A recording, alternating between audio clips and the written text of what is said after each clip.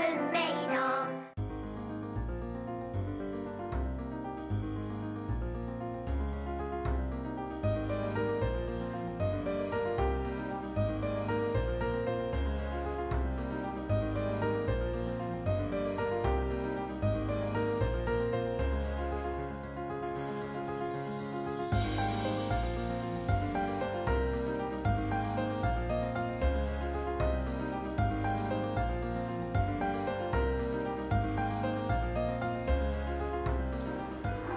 生地が焼きたてだと結構パリッとしててで中しっとりしててあんもなんか程よい甘さで美味しいです。